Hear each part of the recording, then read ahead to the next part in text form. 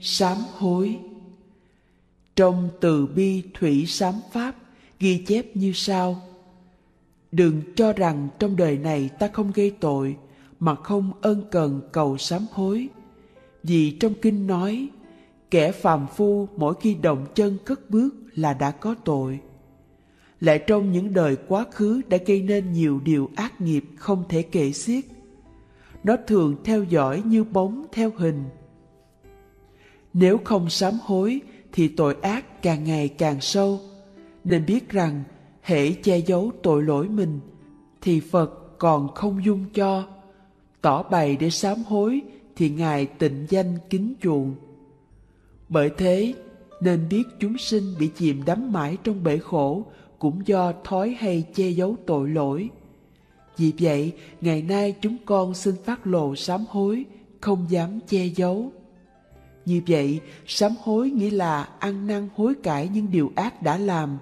Thề xin chừa bỏ, quyết không bao giờ để tái phạm. Đồng thời, bao nhiêu việc phước thiện đều nguyện xin làm hết.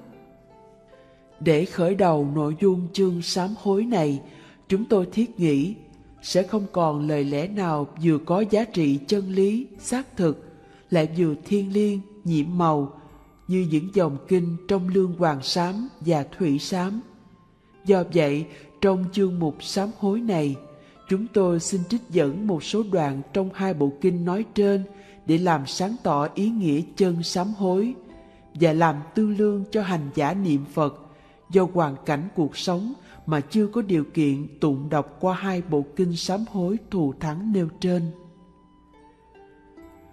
Còn phàm phu thì gọi là buộc, đã chứng quả thánh thì gọi là giải. Buộc tức là kết quả ác của hành động bạo ác của ba nghiệp ác đã gây ra. Giải tức là quả báo lành vô ngại, giải thoát của ba nghiệp lành đã gây ra. Những pháp lành ấy không phải từ trong nghiệp ác mà ra, không phải từ trong tham sân tật đố mà ra, không phải từ trong ngu si tà kiến mà ra, không phải từ trong lười biếng mà ra, không phải từ trong kiêu mạn, từ cao từ đại mà ra. Các pháp lành ấy chỉ từ trong sự thận trọng không làm ác mà ra. Các pháp lành ấy đều do các nghiệp lành mà ra. Không nơi nào có người tu các nghiệp lành, dân lời Phật dạy mà mắc phải ác báo, bần cùng, xấu xa, tàn tật, bệnh hoạn, không được tự do, thấp hèn, bị kẻ khác kinh chê, lời nói không ai tin dùng bao giờ. Ngày nay, đại chúng đồng nghiệp trong đạo tràng muốn bỏ phàm làm thánh thì nên y lời Phật dạy, như lý mà tu hành. Không nên từ chối một việc khổ nhỏ mà sanh tâm lười biếng. Nên tự nỗ lực cố gắng sám hối cho tiêu tội lỗi. Sức mạnh của sám hối không thể nghĩ bàn. Vì sao mà biết? Vì vua A xà thế phạm đại tội ngũ nghịch, nhưng sao vua biết sanh tâm hổ thẹn, tự trách, tự ăn năn, nên tội nặng thành nhẹ. Pháp sám hối này khiến người tu hành được an vui. Nếu có người nào tự mình hay định thời khóa, nỗ lực hết lòng, khấu đầu lễ bái, sám hối, quy y cho đến khi hoàn toàn trong sạch mà không cảm được mười phương Phật thì không có lý. Ác nghiệp và quả báo theo nhau, ảnh hưởng lẫn nhau, không sai mảy may. Cho nên phải hết lòng sợ hãi, cố gắng chịu khổ mà sám hối.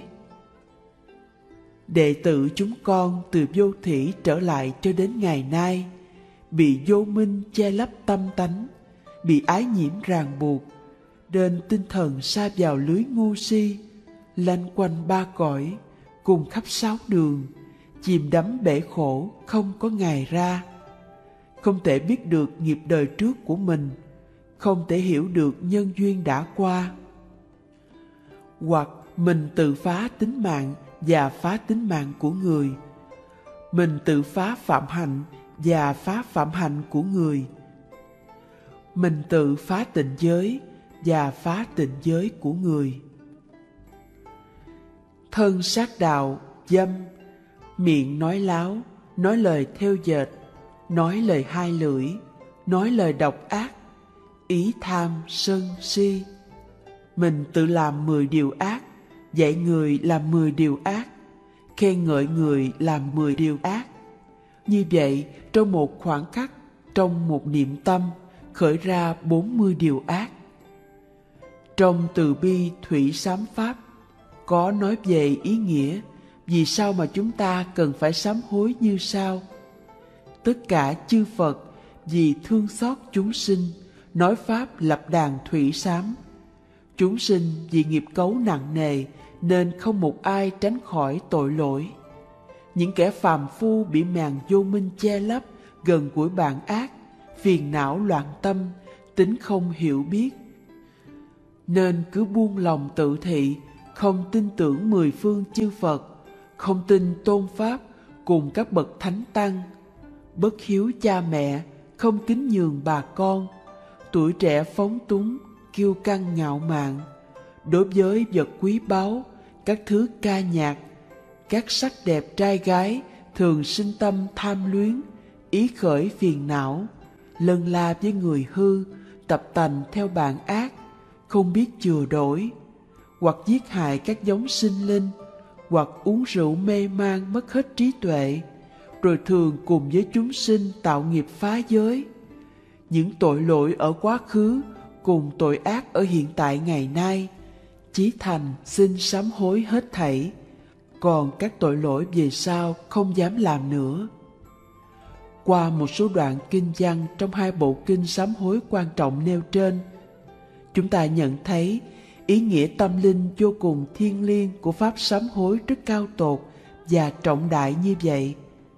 Về sự thì người sám hối phải thiết lập trai đàn trang nghiêm, tam nghiệp thanh tịnh, hương hoa dâng lên cúng dường mười phương chư Phật, chân thành phơi bày tội lỗi, tha thiết cầu xin chư Phật, chư Đại Bồ Tát phóng hào quang, dùng thần lực gia hộ cho mau tiêu trừ nghiệp chướng, hóa giải oan khiên, dứt sạch mọi bất an đau khổ.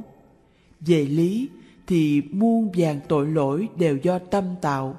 Do vậy, muốn tiêu trừ nghiệp chướng thì phải dần tâm thiết tha, thành khẩn hối cải tội lỗi mà mình đã gieo, hướng về chư Phật giải bày sám hối, thề nguyện không dám tái phạm, đồng thời phát tâm rộng lớn trên cầu Phật đạo, dưới độ chúng sanh.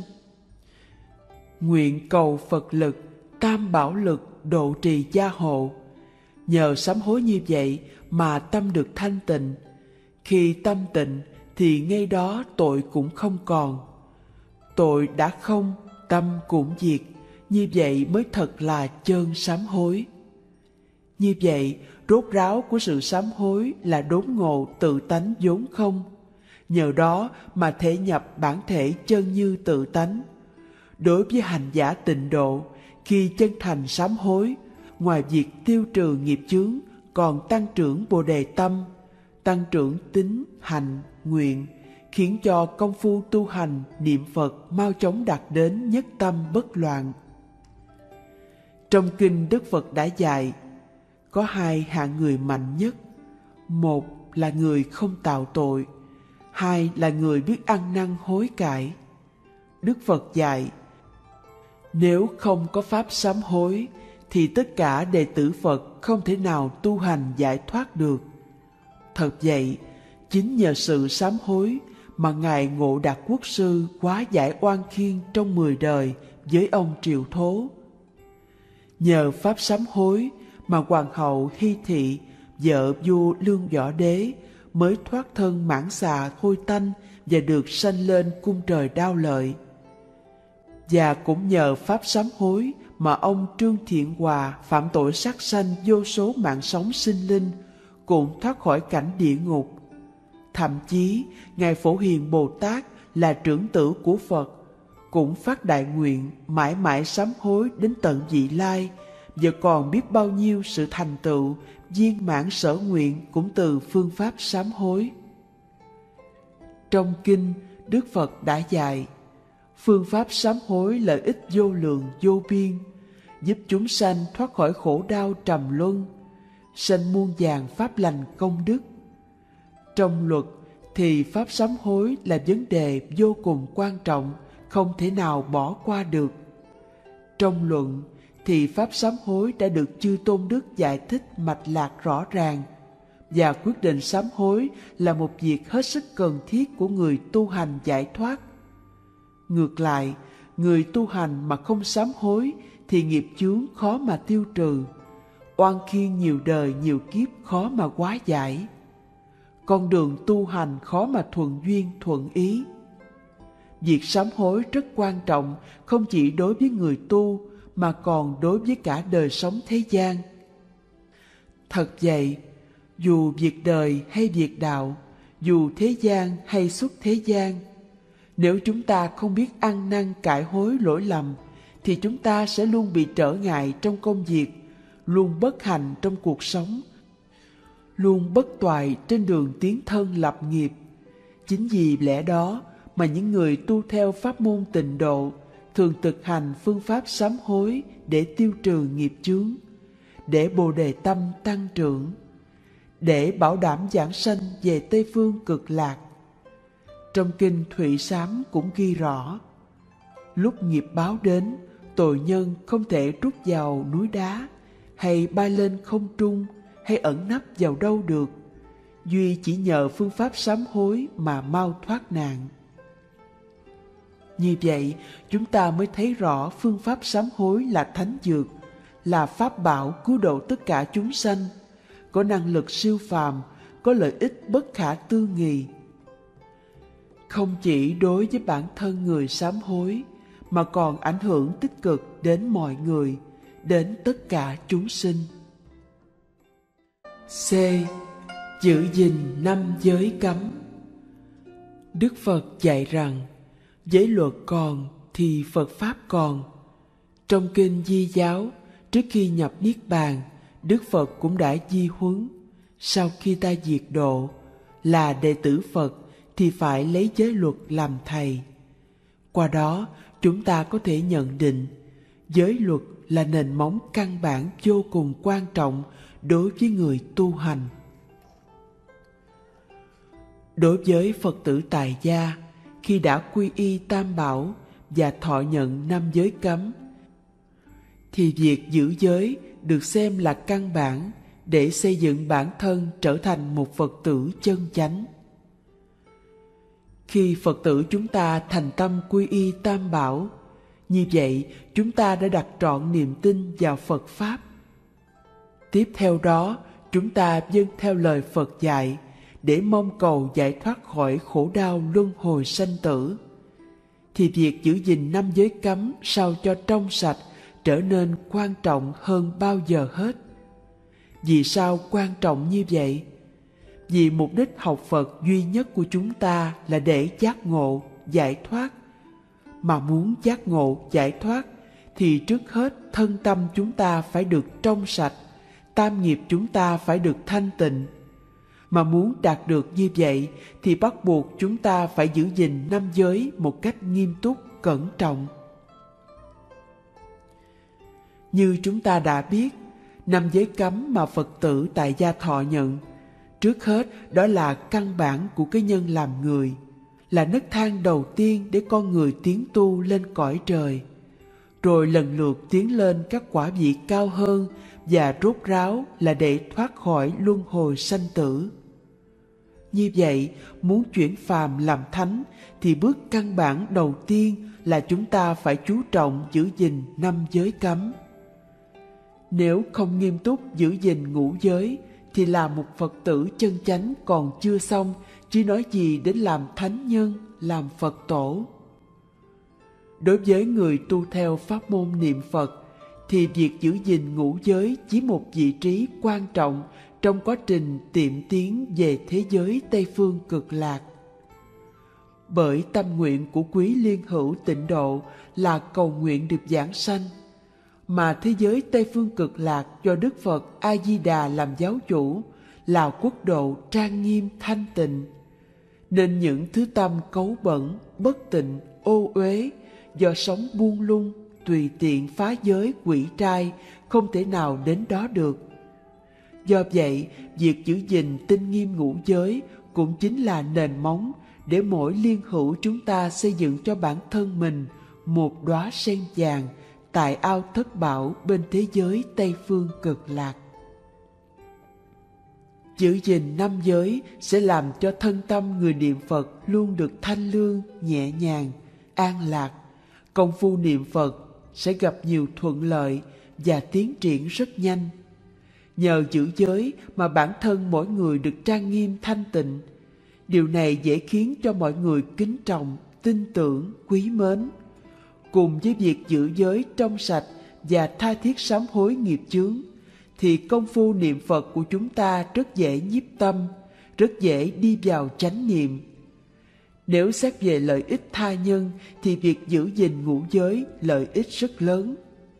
Vì giữ gìn ngũ giới trong sạch tức là hiện tại chúng ta đã cùng nhau âm thầm hoàn quá Phật Pháp trong thế gian này và lặng lẽ trang nghiêm thanh tịnh cõi ta bà uế trượt này. Công đức này rất lớn, luôn được chư Phật chư Đại Bồ Tát trong mười phương thế giới hết lời ngợi khen tán thán. Nếu xét về đạo lý nhân quả luân hồi, thì việc giữ gìn ngũ giới sẽ tránh được quả báo khổ đau, xấu ác trong kiếp lai sinh. Đồng thời, chúng ta sẽ có được một đời sống phước đức an lành trong hiện tại và cả vị lai. Tầm quan trọng và lợi ích lớn lao của việc giữ gìn ngũ giới đối với Phật tử sơ lược là như vậy. Chúng ta đã có duyên lành với Tam Bảo, đang hướng về tịnh độ và phát tâm niệm Phật. Như vậy, chúng ta đã có nhân duyên rất lớn với Phật Pháp. Đây là một thắng duyên hơn hẳn tất cả dạng duyên vốn tràn trịch trên cõi đời này. Để khởi đầu cho một tiến trình niệm Phật tốt đẹp, công việc căn bản và quan trọng đầu tiên mà chúng ta cần phải thực hành ngay đó là chuyển hóa thanh lọc ba nghiệp thân khẩu ý trở nên thanh tịnh mà cụ thể trong đó có việc giữ gìn ngũ giới. Một không sát sanh. Sanh mạng là giá trị tối thượng của con người. Chính nhờ mạng sống này mà chúng ta có thể hướng về các pháp lành và phật pháp để tu tập giải thoát luân hồi sanh tử. Hơn nữa, bản chất của con người là tham sống sợ chết. Và loài vật tuy không biết nói như người nhưng cũng biết đau đớn, cũng tham sống sợ chết như con người. Cho nên không sát sanh còn có ý nghĩa rốt ráo là không nên giết hại sinh mạng con người và các loài động vật. Không sát sanh, chúng ta sẽ tránh được hận thù, nghiệp chướng oán đối và quả báo tàn khốc sau này. Nhờ đó, chúng ta sẽ được bình yên mà chuyên lo niệm Phật. Là Phật tử, chúng ta không nên ra tay giết hại, không nên suối bảo người khác giết, không nên thấy sự giết hại mà sinh tâm vui thích. Không sát sanh là con đường duy nhất để nuôi dưỡng lòng từ và yếu tố cơ bản đi đến hòa bình. Phật tử nên dứt khoát từ chối sát hại mọi sinh linh để cùng nhau xây dựng một thế giới hạnh phúc, hòa bình, an lạc. 2. Không trộm cướp Trong đời sống, chúng ta bỏ rất nhiều thời gian và công sức mới tạo ra tiền bạc của cải. Tài sản vật chất là phương tiện để nuôi dưỡng cuộc sống, nhưng đó chúng ta mới có thể thực hiện được nhiều việc làm có ý nghĩa Tài sản quý giá như vậy cho nên chúng ta không muốn ai xâm phạm đến tài sản của mình. Đã vậy thì mình cũng không nên xâm phạm đến tài sản của người khác. 3. Không tà dâm Là cư sĩ tài gia, quý Phật tử cũng có vợ, có chồng như bao gia đình khác trong xã hội. Đã là Phật tử, chúng ta tuyệt đối không xâm phạm đến tiết hành của người khác. Chúng ta kiên quyết không tà hạnh nhằm đảm bảo sự an vui hạnh phúc của gia đình và xã hội. Chúng ta nên hiểu thêm rằng không tà hạnh cũng có nghĩa là cần phải tiết dục và hãy để tâm trí lành mạnh suy tưởng đến các pháp lành hoặc nghĩ đến các pháp môn tu tập không tà dâm, bản thân khỏi phải lao thần tổn trí, khỏi sợ ai bàn tán dở hay. Mọi người đều tín nhiệm và tin cậy ta. Phật tử giữ giới trinh bạch khiến người tự quý mến, tự thân quý vị cũng sẽ an ổn, gia đình đương nhiên là hạnh phúc. 4. Không giọng ngữ Sống trong đời sống hàng ngày, con người thường hay phạm phải lỗi nói dối là do lòng gian tham giấy khởi. Việc đúng nói thành sai, việc sai nói là đúng, việc thế này nói thế kia và ngược lại. Chủ ý của nói dối không ngoài mục đích lợi mình hại người, nó đi ngược lại đạo đức của người tu theo hành Phật. Tuy nhiên, cũng có trường hợp chúng ta phương tiện phải nói lời không thật bởi lòng từ bi vì muốn tốt cho cuộc sống. Là Phật tử, chúng ta quyết không nói dối để gây phương hại đến mọi người. Không nói dối là cách giữ gìn chữ tín, đồng thời cũng là biểu hiện nhân cách của Phật tử thuần thành. Phật tử không nên nói dối mà còn phải biết dùng lời nói của mình đem lại lợi ích cho tha nhân. Không đạt được mục đích này thì tốt hơn là chuyên tâm niệm Phật, chỉ đừng nên mở lời. Chúng ta dùng cái miệng để niệm Phật, để nói những lời yêu thương, để an ủi người bất hạnh, để tôn vinh cái đẹp. Do vậy, chúng ta không nên dùng cái miệng như một loại vũ khí nhằm hãm hại người khác. Đừng dùng nó để nói những lời dâm ô, nịnh hót hay quát mắng người khác. Người hay nói dối thì không ai tin dùng, đề xướng điều gì cũng đều bị nghi ngờ. năm Không uống rượu Đức Phật cấm Phật tử không được uống rượu, vì uống rượu vào sẽ gây ra tác hại nguy hiểm cho bản thân, gia đình và đời sống xã hội. Ông bà thường nói, tử nhập ngôn xuất. Thật vậy, khi say rượu thì người thường ngày dù có nghiêm túc đến đâu cũng dễ lỡ lời, dễ có những hành động không đúng đắn. Còn say quá mức thì có thể dẫn đến những hành vi khiếm nhã, ói mửa tại chỗ, ngã lăn ra đất. Thật không còn gì để nói đối với một người say. Đối với xã hội, nạn say rượu đã gây mất trật tự an ninh và ảnh hưởng không tốt cho đời sống cộng đồng. Những thống kê về an toàn giao thông cho biết đa số vụ việc gây tai nạn giao thông nghiêm trọng phần lớn là do người say rượu gây ra. Như vậy, người say rượu không chỉ tự sát mà còn gây tang thương cho bao gia đình đang sống trong hạnh phúc. Thật vậy, gia đình nào mà có người nghiện rượu thì đúng là một địa ngục ở trần gian. Là một Phật tử, chúng ta không được uống rượu, dù chỉ đôi ba chén chia vui cùng bạn bè. Vì ban đầu có thể chỉ có vậy nhưng sau đó sẽ quen dần và chúng ta khó từ chối. Uống rượu sẽ làm cho con người mất lý trí không làm chủ được bản thân.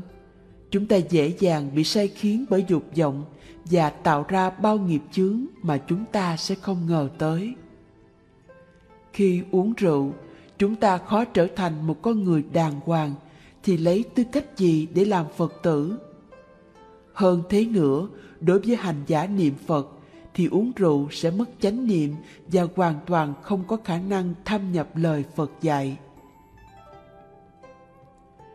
Những lợi ích và quả báo tốt đẹp của việc giữ gìn ngũ giới có thể sơ lược như sau. Khi không sát sanh, chúng ta sẽ được quả phúc trường thọ. Khi không trộm cắp, chúng ta sẽ được quả phúc giàu sang. Khi không tà hạnh, chúng ta sẽ được quả phúc, khỏe mạnh, tướng hảo, đoan trang. Khi không giọng ngữ, chúng ta sẽ được quả phúc, được mọi người tôn kính, tin tưởng và chúng ta sẽ có uy tín trong các mối quan hệ. Khi không uống rượu, chúng ta sẽ được quả phúc, thông minh, trí tuệ. Phật tử tại gia chúng ta giữ được năm giới, không sát sinh, không gian tham, trộm cắp, không tà hạnh, không giọng ngữ, không say sưa nghiện ngập. Tức là chúng ta đã giữ được thân tâm trong sạch, thanh tịnh. Từ năm giới hạnh này làm nhân, chúng ta nỗ lực hành thập thiện. Không tương tục nghiệp cũ, không tạo thêm ác nghiệp, chuyên cần tinh tấn niệm Phật được nhất tâm bất loạn, thì quả giảng sanh cực lạc là điều chắc chắn. Chúng ta cũng nên biết rằng, dù cho tu học theo bất kỳ pháp môn nào cũng không thể xem nhẹ giới luật, vì giới là nền tảng của đạo và thọ mạng của Phật Pháp. Nếu không có giới thì định tuệ không sanh trưởng, không có động lực thúc đẩy hành giả giảng sanh. Người tu có nghiêm trì tịnh giới thì khi niệm Phật mới phát huy hết tác dụng màu nhiệm của hồng danh Phật. Cho nên Kinh nói rằng, một câu niệm Phật có thể tiêu trừ 80 ức kiếp sanh tử trọng tội. Đây chính là nhờ niệm Phật biết dựa vào nền tảng của giới luật. Nói một cách khác là nhờ thân tâm hành giả thanh tịnh, nên việc niệm Phật mới đạt hiệu quả lớn lao như vậy.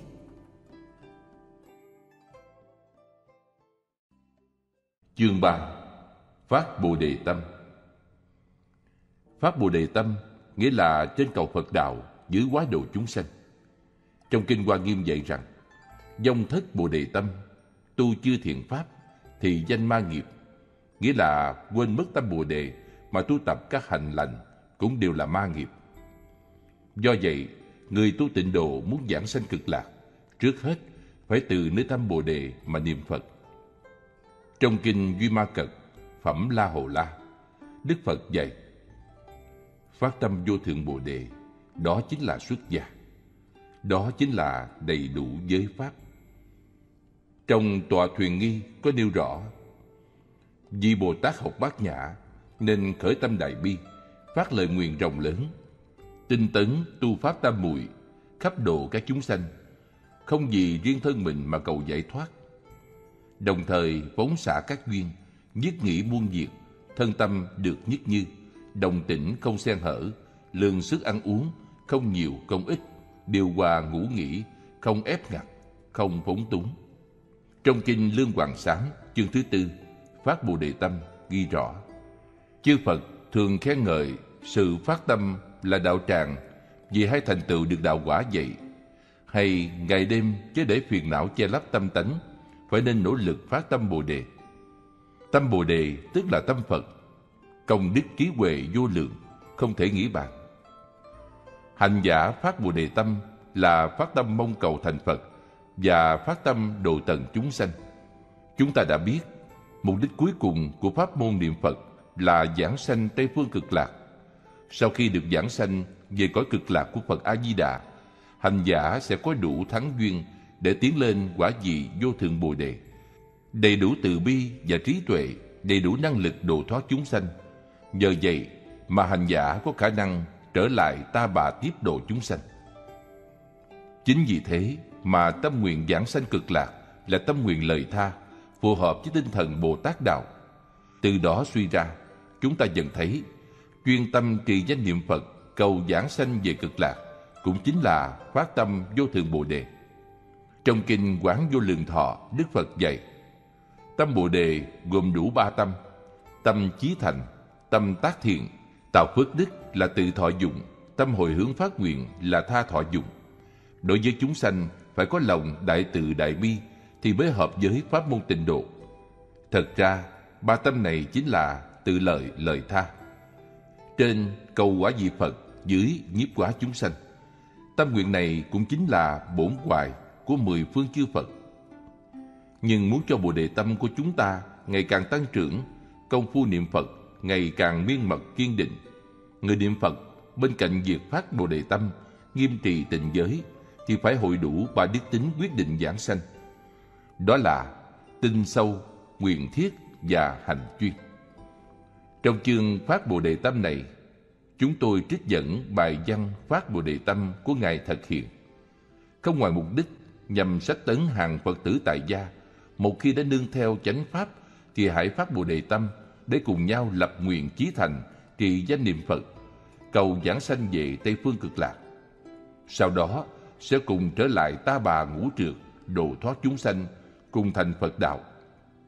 Chúng tôi thành kính tri ân dịch giả Tâm Nguyên đã dịch bản văn phát Bồ Đề Tâm ra lời diệt Vì lý do ấn tống nhằm trợ duyên cho người học Phật, chúng tôi rất mong dịch giả Tâm Nguyên quan hỷ cùng chúng tôi thực hiện pháp thí này. Từng nghe, cửa yếu vào đạo lấy sự phát tâm đứng hàng đầu, việc cấp thiết tu hành lấy sự lập nguyện mới độ nổi. Tâm có phát thì đạo mới tự thành. Nếu tâm rộng lớn không phát, nguyện kiên cố không lập, thì dù trải qua trăm kiếp ngàn đời, vẫn cứ quanh quẩn trong vòng luân hồi mãi mãi. Dù có gia công tu hành, cũng chỉ nhọc công vô ích, đắng cay vẫn hoàng đắng cay. Cho nên Kinh Hoa Nghiêm mới nói, quên mất tâm Bồ Đề mà tu hành các thiền pháp thì cũng gọi là hành động của ma. Quên mất mà còn như thế, huống nữa là chưa phát. Cho nên biết rằng, muốn học đạo Như Lai, trước hết là phải phát Bồ Đề Tâm. Điều này không thể quảng đãi được.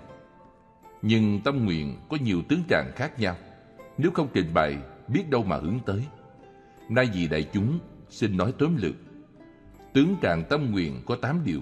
Đó là tà, chánh, chân, ngụy, đại, tiểu, thiên, duyên. Người tu sau khi vào chùa chẳng xét tâm bình, chuyên lo ngoại vụ, hoặc cầu sướng thân, hoặc ham nổi tiếng, hoặc ưa thích dục lạc thế gian, hoặc cầu mong quả vui về sau. Phát tâm như thế, đích thị là tà. Danh lợi không ham, quả vui chẳng thiết, chỉ mong giải thoát, đạt đạo bồ đề. Phát tâm như thế mới gọi là chánh. Có tội không sám hối, có lỗi không dứt trừ. Ngoài sạch trong dơ, trước xiên sau nhát. Tâm tuy tốt đấy, nhưng phần lớn bị danh lợi giao xen. Phát tuy hay đấy, nhưng quan uổng bị dòng nghiệp nhuốm bẩn. Phát tâm như thế, đích thị là ngụy. Niệm niệm liên tục, ngước lên thì cầu Phật đạo, cúi xuống thì độ chúng sanh. Nghe Phật đạo cao siêu, không sanh sầu lo thoái chí. Thấy chúng sanh khó độ, không sanh mệt mỏi sờn lòng. Phát tâm như thế được gọi là chân. Xem ba cõi như lao ngục, nhìn sanh tử như quan gia. Chỉ mong tự độ, không muốn độ người. Phát tâm như thế, đích thị là tiểu. Cõi chúng sanh hết, nguyện ta mới hết. Đạo Bồ Đề thành, nguyện ta mới thành. Phát tâm như thế được gọi là đại. Ngoài tâm, nếu thấy có chúng sanh cần độ, có Phật đạo mong thành, công phu không xả, thấy biết không tan. Phát tâm như thế, đích thị là thiên. Vì biết tự tánh của chúng sanh nên nguyện độ thoát, tự tánh là Phật đạo nên nguyện tu hành, không thấy pháp nào ngoài tâm riêng có. Đem tâm hư không phát nguyện hư không, tu hành hư không, chứng quả hư không. Cũng không có tướng hư không, có thể chứng đắc. Phát tâm như thế được gọi là duyên. Biết được tám tướng khác nhau trên đây là biết cứu xét. Biết cứu xét là biết lấy bỏ. Biết lấy bỏ là biết phát tâm. Cứu xét như thế nào? Cứu xét tâm mình phát ra so với tám tướng nói trên là chánh, là tà, là chân, là ngụy, là đại, là tiểu, là thiên hay viên. Lấy bỏ thế nào? Bỏ tà, bỏ ngụy, bỏ tiểu, bỏ thiên, lấy chánh, lấy chân, lấy đại, lấy viên. Phát tâm như thế mới gọi là chân chánh phát tâm Bồ Đề. Tâm Bồ Đề này là pháp lành hàng đầu trong các pháp lành. Phát khởi được tâm ấy hẳn phải có nhân duyên. Nhân duyên phát khởi lược tốn. Một là nhớ nghĩ ơn nặng của Đức Phật. Hai là nhớ nghĩ công ơn cha mẹ. Ba là nhớ nghĩ công ơn sư trưởng. Bốn là nhớ nghĩ công ơn thí chủ. Năm là nhớ nghĩ công ơn chúng sanh. Sáu là nhớ nghĩ khổ đau sanh tử. Bảy là tôn trọng tánh linh của mình. Tám là sám hối nghiệp chướng đã gây tạo. Chín là nguyện cầu giảng sanh tịnh độ. Mười là làm cho chánh pháp trường tồn. Thế nào là nhớ nghĩ ơn nặng của Phật? Đức Thế Tôn Thích Ca Như Lai, khi mới phát tâm Bồ Đề, vì tất cả chúng sanh mà tu hành đạo Bồ Tát, trải qua vô đường kiếp, nếm đủ mọi mùi cay đắng gian lao. Khi ta gây nghiệp, ngài rất xót xa, tìm cách giáo hóa, nhưng ta u mê chẳng chịu nghe. Ta đọa địa ngục, ngày càng xót xa, muốn thay ta chịu khổ, nhưng nghiệp ta quá nặng, cứu vớt thật vô phương. Ta xin cõi người ngài dùng phương tiện giúp ta trồng gieo căn lành đời đời kiếp kiếp, ngài theo dõi ta, không lúc nào bỏ khi ngài xuất thế, ta còn đắm chìm nay được làm người thì Phật đã diệt. Tội lỗi gì khiến ta sinh vào thời mạt Pháp? Phước đức nào đưa ta vào hàng ngũ xuất gia? Nghiệp chướng nào khiến ta không được thế thân dạng của Phật? May mắn nào xui ta được cung chim xá lời của Ngài? Suy nghĩ như thế thì mới rõ lẽ. Giả sử quá khứ ta không gieo trồng thiện căn, thì sao hôm nay được nghe Phật Pháp? Không nghe Phật Pháp thì làm sao biết mình trường thọ Phật ân? Ân ấy, đức ấy, non cao khó sánh. Trừ khi tự mình phát tâm rộng lớn, hành đạo Bồ Tát, xây dựng pháp tràng, cứu độ chúng sanh. Dù cho bị thịt nát xương tan, cũng khó mà đền đáp cho xứng. Đó là nguyên nhân thứ nhất của sự phát tâm Bồ Đề. Thế nào là nhớ nghĩ công ơn cha mẹ? Thương thay cha mẹ, sanh ta nhọc nhằn, mười tháng cưu mang, ba năm bú mớm. Bên ướt mẹ nằm, bên ráo con lăn, ngầm đắng nuốt cay, ngọt bùi chẳng tưởng, khổ công nhường ấy, ta mới thành người. Hy vọng về sau tiếp nối gia phong, lo phần tế tự. Vậy mà nay, ta lại đi xuất gia, làm xưng thích tử, nhục hiệu sa môn. Ngọt bùi không cung cấp, dỗ chạp chẳng thừa đương. Lúc còn sống, ta đã không chu toàn được miếng cơm manh áo. Khi chết rồi, ta lại chẳng đủ sức tiếp dẫn giác linh. Đối với thế gian, ta là kẻ ăn hại. Về mặt xuất thế, ta cũng chẳng được ích chi. Hai đường đều mang tội nặng khó thoát. Suy nghĩ như thế thì chỉ có một cách là thường hành Phật đạo trong mười phương ba cõi. Như vậy, không những cha mẹ một đời mà cha mẹ nhiều kiếp đều được siêu thăng. Không những cha mẹ một người mà cha mẹ của tất cả đều được cứu vớt. Đó là nhân duyên thứ hai của sự phát tâm Bồ Đề. Thế nào là nhớ nghĩ công ơn sư trưởng? Cha mẹ ta tuy sinh ra ta, nuôi ta khôn lớn, nhưng nếu không có sư trưởng thế gian thì lễ nghĩa không biết, không có sư trưởng xuất thế thì Phật Pháp không hay. Không biết lễ nghĩa khác gì cầm thú, không tin Phật Pháp rõ thật phàm phu. Chúng ta ngày nay Phật Pháp có hiểu sơ qua, lễ nghĩa vừa biết tạm đủ, thân phủ cà sa, mình được giới phẩm, công ơn lớn ấy chính nhờ sư trưởng mà có. Nếu cầu quả nhỏ chỉ được lợi mình, nay theo đại thừa, nguyện đem lợi lạc đến khắp quần xanh, thì sư trưởng thế gian và sư trưởng xuất thế, cả hai đều được lợi ích do ta cung hiến. Đó là nhân duyên thứ ba của sự phát tâm Bồ Đề.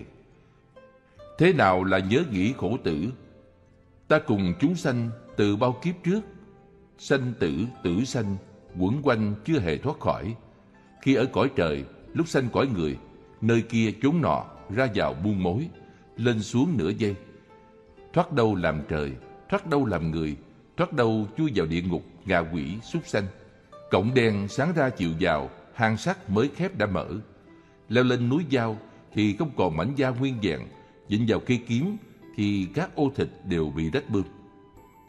Quan sát nóng không trừ được đói, nuốt vào rồi gan ruột nát tan. Nước đồng sôi không giải được khát, uống vào rồi thịt xương như nấu. Cưa bén xẻ thay, đứt sông liền nối, gió nghiệp thổi mặt, chết rồi lại sanh.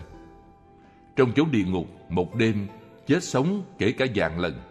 So với dân gian, một buổi thọ hình dài hơn thế kỷ.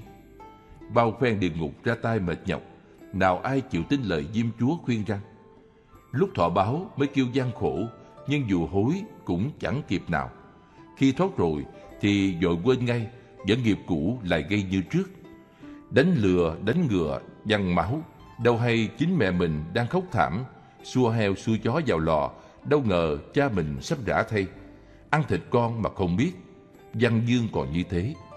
Ăn thịt cha mà chẳng hay, phàm phu cũng thế thôi. Năm xưa ân ái, nay thành quan gia, hôm nay quán cừu, nay thành ruột thịt. Đời trước là mẹ, mà nay là vợ, thuở xưa là cha, nay lại là chồng. Lấy trí túc mạng mà soi, thì thật đáng hổ thẹn biết mấy. Lấy mắt thiên nhãn mà nhìn, thì đáng chán, đáng cười biết bao. Trong bụng đầy phẫn, mười tháng rút chui, hết còn chịu nổi, qua đường ngập máu, một phen chuối xuống, thương thật là thương. Nhỏ dài biết chi, mô tê chẳng rõ, lớn khôn dần hiểu, tham dục bèn xanh loáng thoáng mới đó mà già đau đã tới kiếm, thình lình xuất hiện gã vô thường lại hỏi thăm. Gió lửa trong lúc giao tranh, thần thức tơi bời, rối loạn, khí huyết bên trong dơi cạn, xương thịt bên ngoài teo khô. Không một kẻ chân lông nào không bị kim đâm, không một khiếu huyệt nào không bị dao cắt. Rùa già đem nấu, lột được vỏ ra, tưởng e còn dễ. Thần thức sắp đi, phải lìa khỏi xác, khó cấp bội phần. Tâm là ông chủ vô thường, giống chú lái buôn khắp nơi buôn tẩu. Thân là cái hình vô định, khác nào phòng ốc, rầy đổi mai thai. Chỉ như mấy bụi ở cõi ba ngàn, thân thọ quay cuồng qua lại vô tận vô cùng, nhấp nhô như sóng bốn biển. Nước mắt ly biệt trào tuôn, kể sao cho xiết. Giả sử không nghe lời Phật, việc ấy ai hay ai biết. Vậy mà có kẻ vẫn tham luyến như xưa, si mê không bỏ, chỉ e ngàn đời muôn kiếp mới được làm người. Một lầm hai lỡ dây dưa trăm kiếp, thân người khó được mà dễ mất, giận mai dễ qua mà khó tìm. Đường đời mờ mịt ly biệt dài lâu. Ác báo ba đường, rồi phải tự thọ, khổ hết chỗ nói, ai chịu thay đây. Cho nên phải dứt lòng sanh tử, vượt nẻo ái hạ. Mình người cùng thoát, bờ giác cùng lên. Trong lao muôn kiếp, chính được bắt đầu từ buổi hôm nay. Đó là nhân duyên thứ sáu của sự phát tâm Bồ Đề. Thế nào là tôn trọng tánh linh của mình? Tâm của chúng ta trong hiện tiền so với Đức Thế Tôn Thích Ca không hai công khác. Thế thì vì sao Thế Tôn đã thành chánh giác từ vô lượng kiếp, công đức trang nghiêm? Còn chúng ta thì điên đảo hôn mê, vô lượng phiền não, nghiệp chướng sanh tử buộc chặt. Tâm tánh chỉ một mà mê ngộ trời vượt cách xa. Cứ im lặng mà suy, há chẳng đáng xấu hổ sao? Ví như ngọc báo vô giá rơi xuống bùn dơ. Xem đồng ngói gạch chẳng được quý yêu. Cho nên phải dùng vô lượng thiện pháp mà đối trị vô lượng phiền não. Có gia công tu đức thì tánh đức mới sáng ra. Như ngọc báo được lau chùi, treo trên phướng cao, ánh sáng rực chiếu, che lấp tất cả. Thế mới đáng gọi là không phụ sự giáo hóa của Phật, chẳng phụ tánh linh của mình. Đó là nhân duyên thứ bảy của sự phát tâm Bồ Đề. Thế nào là sám hối nghiệp chướng? Kinh dạy, phạm một cát la, bị đọa địa ngục lâu bằng 500 tuổi thọ của cõi trời tứ thiên dương. Cát la tội nhỏ mà còn như thế, huống nữa tội nặng thì quả báo lớn đến đâu. Chúng ta ngày nay trong nếp sống nhất cử nhất động thường trái luật Phật, khi ăn lúc uống phạm giới bao phen. Chỉ lấy riêng ngũ giới, cứ 10 người giữ đã hết 9 người phạm. Phát lộ thì ít, ém nhẹm thì nhiều. Nên biết rằng giới Phật đã không thọ thì thôi, đã thọ thì không được quỷ phạm, không phạm thì thôi, đã phạm thì khó tránh đọa đài. Nếu không vì xót mình thương người mà miệng gian lơn, thân quỳ lại, khóc lóc thảm thiết, cùng với chúng sanh cầu xin sám hối, thì dù ngàn đời muôn kiếp, ác báo khó bề tránh khỏi. Đó là nhân duyên thứ tám của sự phát tâm Bồ Đề. Thế nào là cầu sanh tịnh độ? Tu ở cõi này, sự tiến đạo quá khó. Nhưng giảng sanh cõi kia, việc thành Phật xét ra cũng dễ. Dễ cho nên một đời có thể đạt được, khó cho nên muôn kiếp chưa chắc tự thành. Vì vậy mà Thánh Hiền đời trước, ai ai cũng thú hướng về đây. Ngàn kinh muôn luận, đâu đâu cũng giải bày nghĩa này. Việc tu hành trong đời mạt Pháp, không Pháp nào hơn được Pháp ấy. Điều lành nhỏ khó khiến sanh thiên, phước đức dày mới đưa đến đó. Mà nói phước đức dày thì không chỉ bằng chấp trì danh hiệu Phật. Nói điều lành nhiều thì phát tâm rộng lớn chiếm ưu tiên. Cho nên chấp trì danh hiệu Phật trong chốc lát hơn hẳn công đức bố thí cả trăm năm, phát được tâm bồ đề rộng lớn, vượt trội công đức tu hành trong nhiều kiếp. Bởi vậy niệm Phật là mong được làm Phật. Nếu tâm lớn không phát thì niệm cũng chẳng ích chi. Phát tâm là nhằm mục đích tu. Nếu tịnh độ không sanh thì tuy có phát nhưng cũng dễ thối. Thế thì gieo giống bồ đề phải cài bằng cái cài niệm Phật, đạo quả tự nhiên tăng trưởng.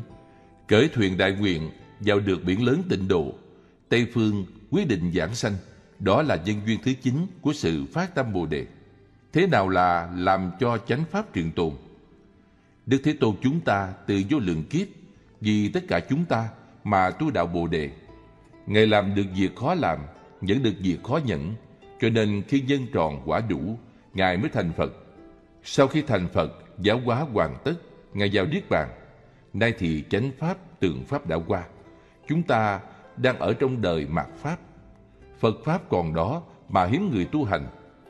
Ta chánh lộn xộn, phải trái khó phân, ganh đua nhân ngã toàn phường danh lợi. Ngước mắt nhìn quanh, mọi người đều vậy chẳng ai thoát khỏi mình mù chẳng biết Phật là ông nào. Pháp nghĩa ra sao, Tăng là cái gì? Suy tàn đến thế, nói ra bất nhẫn. Mỗi khi nghĩ đến bất giác lệ tu, ta là con Phật, bà không thể đền đáp công ơn Phật. Sống không ích cho đương thời, chết chẳng ích cho hậu thế. Trời tuy cao, không che nổi ta, đất tuy dày, không che nổi ta. Cái đứa cực ác, không phải ai khác mà chính là ta. Do đó, lòng đau không thể chịu nổi, mà toan tính thì cũng chẳng đề xuất được kế gì. Bỗng nhiên dục phát khởi tâm trí rộng lớn, tuy chưa thể giảng hồi mặt giận ngay trong lúc này, nhưng quyết định phải hộ trì được chánh pháp mai sau. Cho nên cùng các thiện hữu dắt nhau đến đạo tràng, soạn thuật sám pháp, lập pháp hội này. Phát 48 đại nguyện, nguyện nào cũng nhằm quá độ chúng sinh, tâm nào cũng hướng tiêu đích làm Phật. Kể từ hôm nay cho đến tận cùng đời vị lai, thề quyết phải sanh về an dưỡng quốc. Sau khi lên sông chính phẩm lại lùi về ta bà. Mặt trời Phật Pháp sẽ được sáng lại, cửa vào chánh Pháp phải được mở toan, biển lòng tăng giới lặng trong ở cõi này. Dần dần đông độ được tiếp hóa ngay tại chỗ. Dân hội nhờ đó mà kéo dài ra thêm, chánh Pháp nhờ đó mà tồn tại lâu dài. Đây là tâm nguyện chân thành từng được thiết tha ấp ủ, đó là nhân duyên thứ 10 của sự phát tâm Bồ Đề. Như vậy là 10 duyên đã biết, tám hướng đã rõ, thú hướng có lối, khai phát có nơi. Chúng ta đã được làm người, được ở trên mảnh đất có văn hóa, thân thể sáu căn không thiếu, cơ thể khỏe mạnh, đầy đủ tính tâm, may mắn không gặp ma chướng. Huống nữa còn gặp Phật Pháp, được gặp đạo tràng, được thọ cụ giới, được thờ xá lợi, được tu sám Pháp, được gặp bạn lành, được đủ duyên may. Như thế mà nếu hôm nay không chịu phát tâm rộng lớn thì đợi đến bao giờ? Cuối sinh đại chúng cùng nhau lập nguyện, cùng phát tâm Bồ Đề Tâm này. Ai chưa phát thì nay phát, ai phát rồi thì kích thích tăng trưởng, ai tăng trưởng rồi thì nay cứ tiếp tục. Đừng gì có mà sợ hãi lùi bước. Đừng cho dễ mà khinh thường.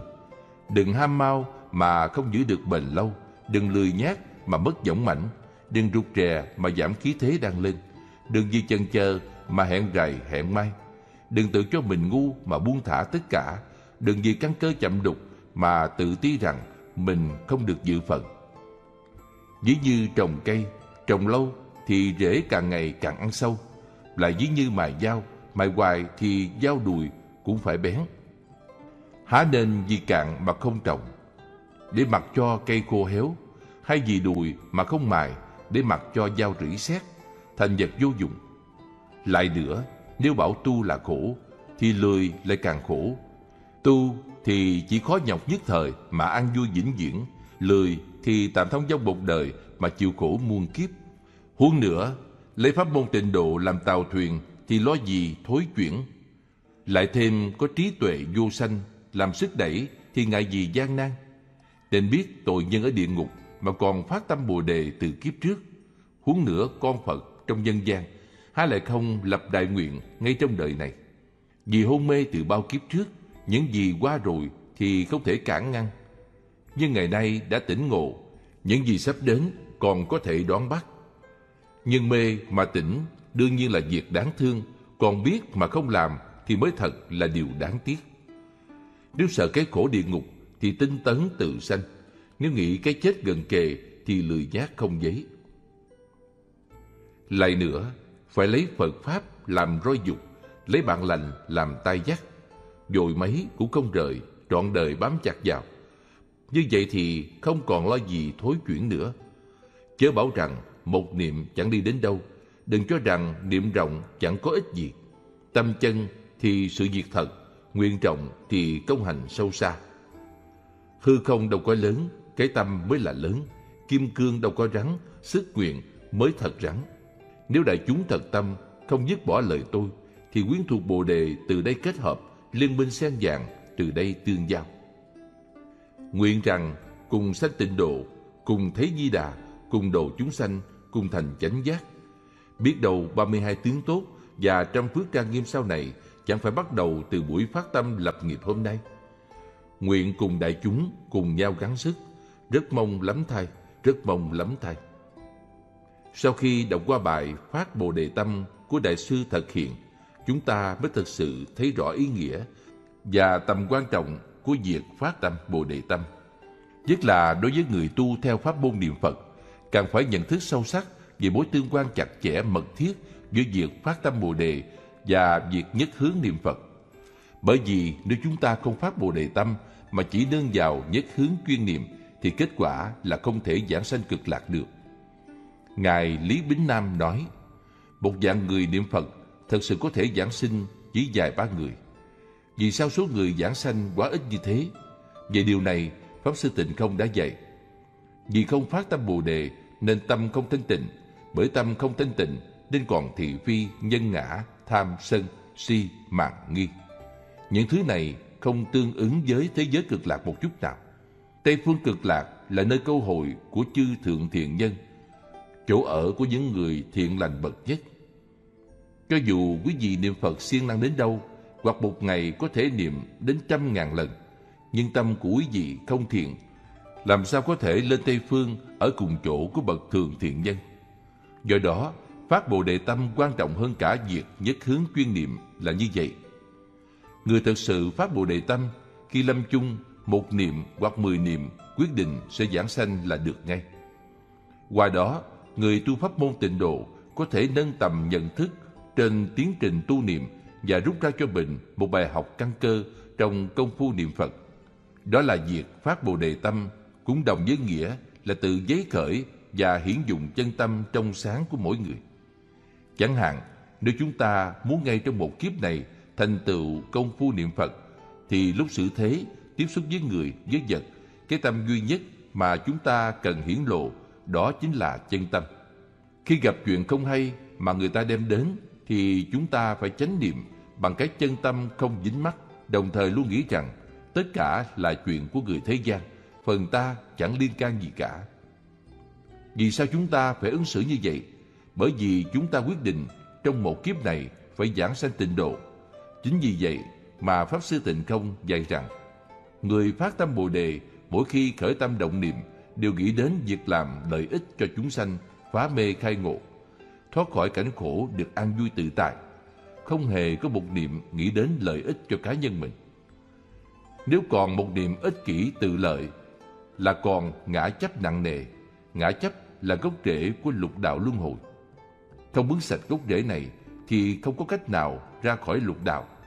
Cho nên ngay từ bây giờ, quý vị cần phải buông xả, phải nghĩ đến người khác, nghĩ đến chúng sanh, đến những người đau khổ đang gặp nạn trên thế giới. Tuyệt đối không nên nghĩ chuyện lợi ích cho riêng cá nhân mình nữa. Một khi quý vị phát Bồ Đề Tâm, liền được chư Phật hộ trì. Vì tâm chư Phật là tâm Bồ Đề. Như vậy, tâm của quý vị sẽ cùng với tâm của chư Phật không hề khác nhau. Chương 4 Chọn pháp môn tu học Tập sách nhỏ này có nội dung khuyến tu tịnh độ. Quý Phật tử khi đã cầm cuốn sách này trên tay thì ít nhiều cũng đã có nhân duyên với tịnh độ. Do vậy, khi nói đến việc chọn pháp môn tu học, chúng tôi mong muốn quý Phật tử một lần nữa cẩn trọng trong việc chọn cho mình một phương pháp tu trì.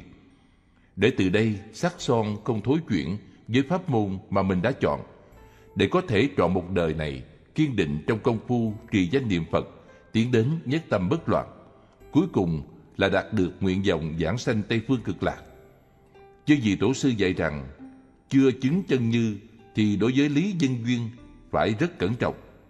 Do vậy, trước khi bàn đến các phương pháp trì danh niệm Phật, chúng tôi xét thấy cần có đôi điều về việc chọn pháp môn tu học. Chư Tôn Đức thường khuyên người hậu học rằng, học Phật cần phải hành, giải tương ưng. Điều này có nghĩa là hiểu, giải, mà không hành, hành thì giống như kể tên thức ăn, đếm của cải, mà thực chất chẳng được gì cả. Hành mà không hiểu thì giống như đi mà chẳng biết về đâu. Như vậy cả hai đều chẳng ý nghĩa gì.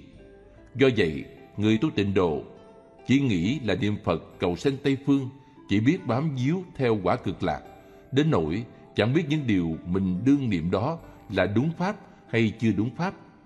Chẳng gia công xem xét, thì sẽ chẳng đạt được lợi ích lớn cho mục đích giải thoát. Đức Phật dạy, Nhân địa chẳng chân mà cảm quả công dạy. Trong kinh còn ghi. Duyên là hết thảy công đức thiện căn, hỗ trợ liễu nhân, khai phát chánh nhân. Trước những lời dạy vàng ngọc như thế này, là người chân thật học Phật, chúng ta cần nên chú trọng.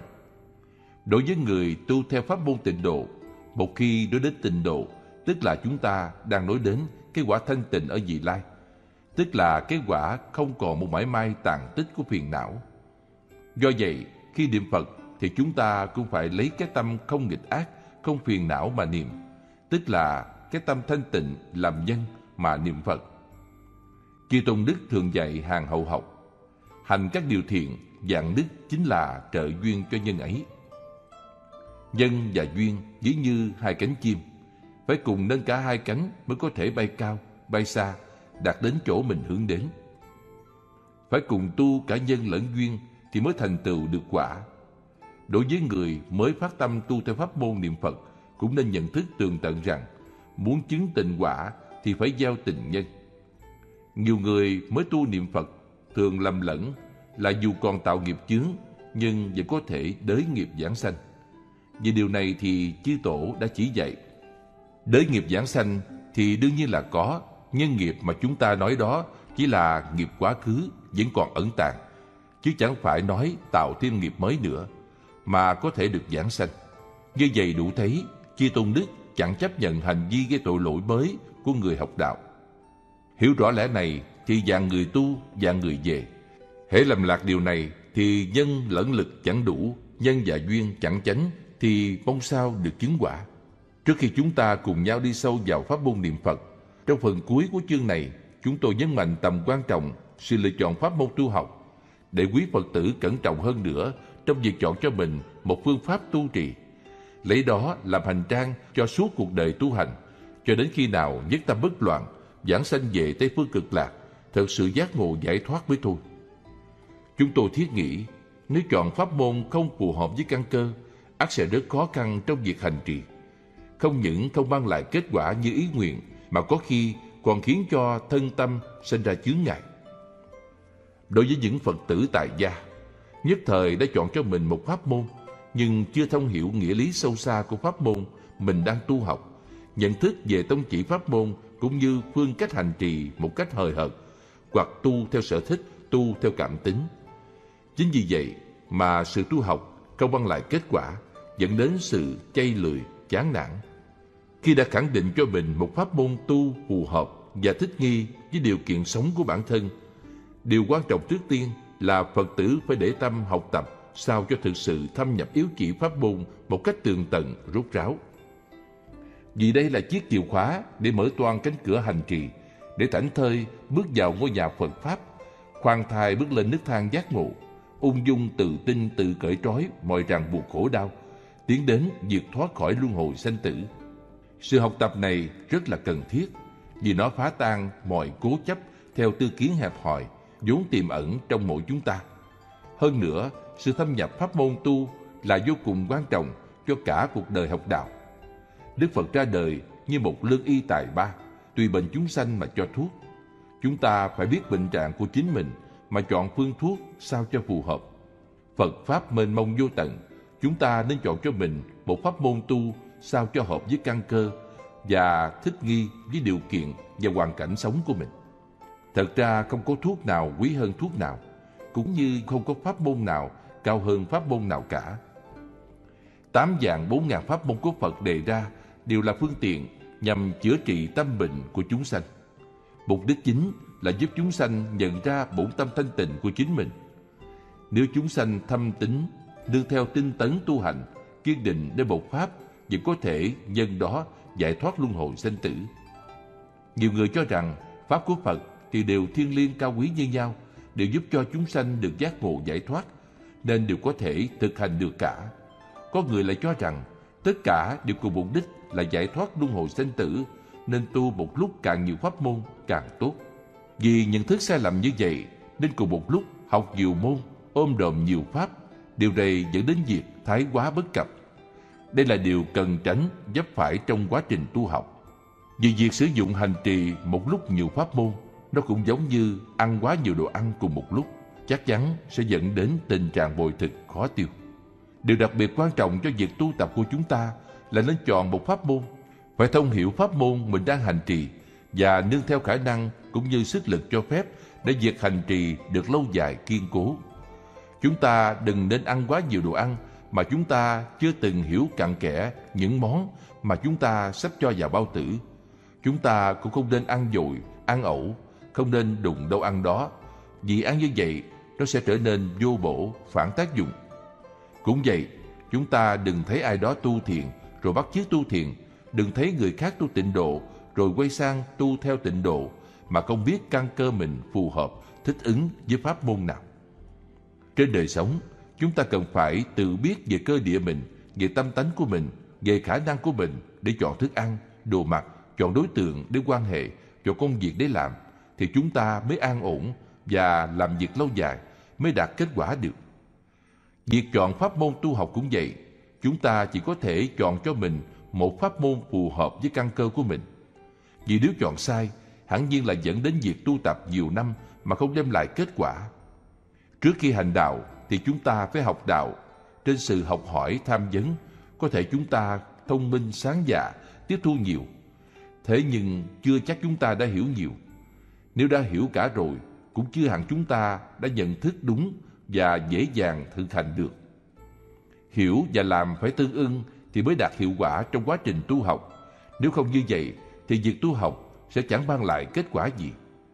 Điều này cũng giống như chúng ta ăn nhiều thức ăn, nhưng chẳng tiêu hóa được thì thật là tệ hại. Trong việc tu hành, chúng ta cần phải lưu ý vấn đề này.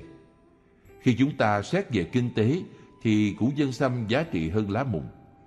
Nhưng khi sử dụng thì loại nào cũng quý cả, vì mỗi loại đều có tác dụng bồi bổ và chữa trị bệnh khác nhau. Đều đem lại ích lợi cho người sử dụng nó. Quan trọng là chúng ta phải biết cơ địa bệnh hợp với loại nào chứ không phải nhắm vào giá trị kinh tế để chọn. Đức Phật như một vị đại lương y có tám muôn bốn ngàn loại thuốc, mỗi loại đều có công năng chữa trị tâm bệnh cho chúng sanh. Phần chúng ta là phải biết mình bệnh gì, hợp với loại thuốc nào để chọn thuốc cho phù hợp. Cũng vậy, trong Tam Tạng Kinh điển, Đức Phật dạy tám muôn bốn ngàn phương tiện tu hành, chúng ta phải biết căn cơ mình phù hợp với pháp môn nào. Phần 2 Giới thiệu sơ lược về pháp môn tịnh độ. Chương 1 Pháp môn niệm Phật phù hợp mọi căn cơ. Suốt 49 năm thuyết pháp độ sanh, Đức Phật đã truyền dạy trên 8 dạng 4 ngàn pháp môn ứng với căn tánh bất đồng của chúng sanh. Dù thiên kinh dạng điển, dù vô lượng pháp môn nhưng đều chung mục đích đó là giúp chúng sanh nhận ra bổn tâm thanh tịnh vượt thoát khổ đau luân hồi sanh tử trong tám dạng bốn ngàn pháp môn đó chúng ta làm sao biết được là pháp môn nào thích hợp với căn tánh của mình có thể nói đây là một điều nan giải đối với người mong muốn tìm ra cho mình một phương pháp tu hành thích hợp. Tuy nhiên, tự xét về bản thân và căn cứ theo lời dạy của chư vị tổ sư thì chúng ta vẫn có thể xếp loại căn cơ của mình thuộc vào hạng nào trong ba hạng sau đây. Một là hạng thượng căn thượng trí, vừa nghe giảng liền thông hiểu ngọn nguồn dứt sạch vọng niệm, triệt ngộ bản tâm. Hai là hạng người dù căn tánh không được lanh lợi như hạng thượng căn thượng trí, nhưng niềm tin Phật Pháp không có gì có thể lay chuyển được. Ba là hạng căn cơ hạ liệt, phước đức cạn cợt, nghiệp chướng sâu dày. Đã vậy còn hay lấy hí luận kiến giải làm sợ đắc, thường cống cao ngã mạn Do vậy, ngày càng xa rời bổn tâm thanh tịnh. Qua ba hạng căn cơ kể trên, có lẽ chúng ta đã nhận thức ra mình thuộc loại căn cơ nào rồi phải không? Hạng người căn cơ thứ ba mà chư tổ đã đề cập đến, đó chính là chúng ta hiện đang sống trong thời mạt Pháp. Đây cũng là hạng người mà Đức Phật và chư vị tôn đức tổ sư quan tâm nhất. Thật vậy, chúng sanh thời mạt Pháp đa phần là hạ căn, độn trí, phước đức cạn cợt, nghiệp chướng sâu dày, niềm tin dễ bị lung lay, thường dễ rơi vào tà kiến ác đạo. Chính vì vậy mà việc chọn pháp môn tu và phương pháp tu tập đã gặp rất nhiều trở ngại. Chúng tôi thiết nghĩ sự lựa chọn pháp môn tu nếu không phù hợp thì kết quả ác sẽ không đạt được như ý nguyện. Tình trạng này chắc chắn sẽ dẫn đến sự thối tâm thối chí trong quãng đời tu học về sau. Chúng tôi nghĩ rằng để chọn cho mình một pháp môn tu phù hợp và thích nghi với điều kiện sống trong bối cảnh thời đại thì việc này rất là hề trọng cho cả cuộc đời học đạo của mỗi chúng ta. Thế nhưng thật là may mắn trong biển pháp mênh mông đó Đức Bổn Sư của chúng ta đã mở bày một phương tiện siêu thắng, một pháp tu di diệu phù hợp với mọi căn cơ mà vẫn bảo đảm sự giải thoát cho mọi chúng sinh. Phương tiện cứu độ thù thắng đó chính là pháp môn tịnh độ. Theo hầu hết các kinh và luận về tịnh độ tông, thì pháp môn niệm Phật thích hợp ba căn, tóm thâu cả phàm lẫn thánh. Không những bậc thượng căn thích hợp pháp môn này, mà người hạ căn độn trí cũng có thể hành trì nương nhờ pháp môn này mà chống được giảng sanh về cực lạc, đạt ngôi bất thối chuyển. Trên các hàng Bồ Tát như Ngài Văn Thù, Ngài Phổ Hiền vân vân đều phát nguyện giảng sanh dưới đến hạ căn thập ác nhờ nương công đức niệm Phật nhất tâm bất loạn cũng tùy nguyện đới nghiệp giảng sanh được cận kề chư thượng thiện nhân chư đại Bồ Tát Quan Âm Thế Chí vân vân. Như vậy, chúng ta có thể nhận thấy sự diệu dụng của pháp môn này thật là to lớn. Sức ít mà kết quả gặt hái được lại rất nhiều. Trong kinh Vô Lượng Thọ có vậy. Như Lai rủ lòng tự riêng, lưu lại kinh này một trăm năm nữa, sau khi các kinh khác diệt hết. Đoạn kinh này ngụ ý rằng, Đức Phật muốn nhấn mạnh tầm quan trọng của các bản kinh tịnh độ. Bởi sự phù hợp cả tương lai và hiện tại, nhất là pháp môn niệm Phật rất hiệu quả và mang lại lợi ích rất to lớn đối với chúng sanh thời mạt Pháp. Dù pháp môn niệm Phật tuy được xem là pháp tu phù hợp với mọi căn cơ, có khả năng chuyển phàm thành thánh ngay trong một đời, được xem là rất thẳng tắc bằng phương pháp niệm Phật nhất tâm bất loạn. Tuy nhiên, chúng ta cũng cần chú ý rằng pháp môn niệm Phật cũng là một pháp tu mà chúng sanh khó có thể nhất thời tin nhận thọ trì. Vì sao vậy? Về điều này, khi thuyết kinh A-di-đà, Đức Phật Thích Ca đã tiên liệu trước rằng về sau trong thời mạt Pháp, ít người có đủ lòng tin kiên cố, phát lòng niệm Phật cầu giảng sanh về Tây Phương Cực Lạc. Chính vì thế mà Ngài đã dẫn lời khen ngợi của mười phương chư Phật để làm bằng chứng chắc thật. Phá trừ sự nghi hoặc, củng cố niềm tin trong tâm của mọi người. Xem như thế đủ thấy Đức Phật đã biết trước chúng sanh còn nhiều nghi ngờ, khó tin vào pháp môn niệm Phật. Nên Ngài đã dùng đủ mọi phương tiện dẫn dắt chúng sanh thời mạt Pháp như chúng ta hướng về tình độ. Và nếu không như vậy, thì chúng sanh trong cõi ta bà này rất khó có cơ hội được giải thoát khỏi khổ đau trầm luân trong đời ngũ trượt ác thế này. Để trợ duyên cho quý Phật tử hiểu sâu thêm về mục đích ý nghĩa và những lợi ích thiết thực của pháp môn niệm Phật, chúng tôi biên soạn thêm chương khuyến tu niệm Phật nhằm giúp quý Phật tử tăng trưởng niềm tin, để từ đây quyết định cho mình một hướng đi lâu dài, thật sự an toàn và hiệu quả bằng phương pháp trì danh niệm Phật. Chương 2 Khuyến tu pháp môn niệm Phật. Trong kinh Đại Tập, Đức Phật đã huyền ký Thời mạt Pháp, muôn ức người tu hành khó có người được giải thoát. Chỉ nương nơi pháp môn niệm Phật mà được thoát khỏi luân hồi. Trong kinh niệm Phật Ba La Mật, Đức Phật dạy, niệm Phật là pháp môn di diệu tối thắng đệ nhất mà chư Phật dùng để cứu độ hết thảy chúng sanh.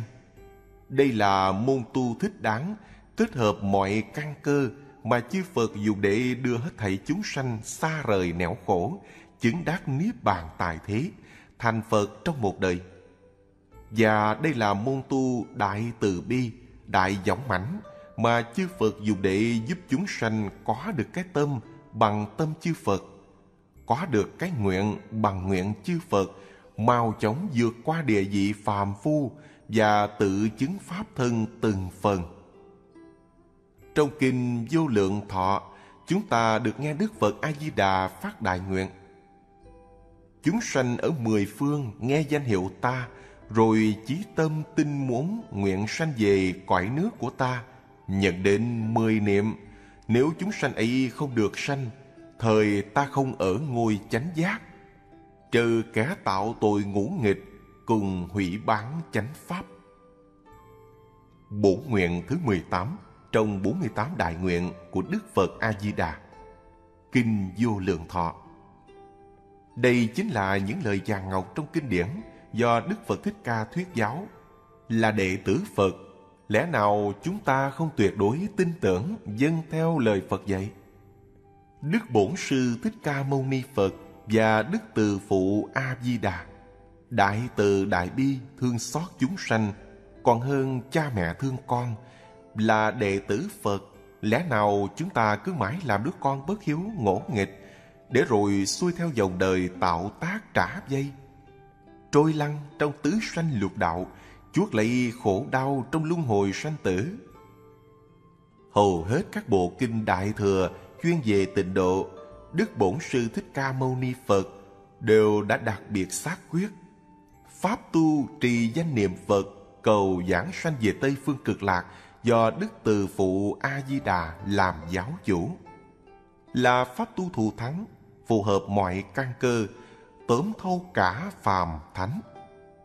Từ hàng Đại Bồ Tát như Văn Thù, Phổ Hiền, các bậc đại trí như Ngài Thiện Tài, Hải chúng Hoa Tạng, các bậc thượng nhân như các vị tổ sư Mã Minh, Long Thọ, vân vân cũng đều tha thiết cầu giảng sanh về Tây Phương Cực Lạc. Nhận đến hàng hạ can độn trí, tạo nghiệp ngỗ nghịch thập ác. Một khi đã biết ăn năn quay đầu, phát tâm Bồ Đề, tín nguyện đầy đủ, chí thành cầu giảng sanh về Tây Phương Cực Lạc, tha thiết trì danh niệm Phật, nhận đến một niệm nhất tâm bất loạn, cũng nhân đó tùy nghiệp đới sanh. Sẽ có đại diễm phúc cùng chư thượng thiện nhân câu hội. Như vậy, từ bậc thượng trí đến hàng hậu học độn căn kém cỏi cũng đều có thể thực hành pháp môn niệm Phật, đều có thể thành tựu sở nguyện giảng sanh về Tây Phương Cực Lạc, đạt ngôi bất thối chuyển. Điều này chứng tỏ trì danh niệm Phật là pháp môn tối thắng, chẳng thể nghĩ bàn, chỉ có tín nguyện sâu dày tha thiết, chí thành, nhất tâm niệm Phật mới có thể chứng nghiệm sự màu nhiệm, chứ chẳng thể nào dùng ngôn ngữ lý giải được. Ấn Quang Đại Sư, Tổ sư thứ 13 tịnh Độ Tông, khai thị pháp môn trì danh niệm Phật như sau. Nhất tâm xưng danh hiệu Phật A-di-đà, điều cần thiết nhất là phải tin sâu chắc, nguyện tha thiết mới cảm thông với Phật mới có thể quyết định hiện đời ra khỏi ta bà, sanh về cực lạc. Phương pháp trì danh niệm Phật thực hành thì rất dễ, thành công lại rất cao. Nếu có thể nhiếp cả sáu căn tịnh niệm nối nhau, quyết được niệm Phật tam muội, làm chung quyết định giáng sanh thượng phẩm. Dù cho căn cơ thấp kém chưa chứng tam muội, chỉ cần tinh nguyện trì danh niệm Phật như con nhớ mẹ, luôn luôn không gián đoạn, đến lúc lâm chung cảm ứng đạo giao, mong nhờ sức từ của Phật cũng vẫn có thể đới nghiệp giảng sanh. Phương pháp trì danh nhiếp cơ rất rộng, lợi ích rất sâu. khế hợp với hàng sơ cơ độn căn đời mạt pháp do vậy từ xưa các bậc thiện tri thức đều chú trọng nơi một môn trì danh vì đây là chỗ cùng cực của môn niệm tha phật vậy khởi tâm niệm phật cực kỳ quan trọng ở chỗ phải tha thiết mong cầu liễu sanh thoát tử giảng sanh cực lạc. Đã tha thiết giải quyết sanh tử thì đối với sự khổ sanh tử, tự sanh tâm nhàm chán.